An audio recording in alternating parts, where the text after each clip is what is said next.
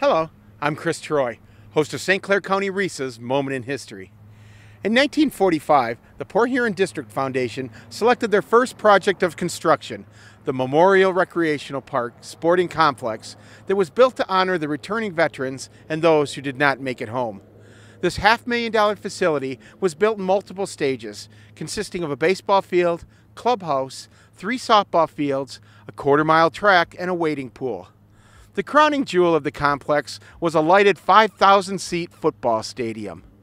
On Armistice Day 1945, hometown hero Admiral Frederick C. Sherman turned the sod on the field to dedicate the beginning of this project. From the beginning to the end of this project took three years to complete, and on September 17, 1948, East Detroit upset the defending state champion Port Huron High 19 6 in the first football game ever to be played in Memorial Stadium.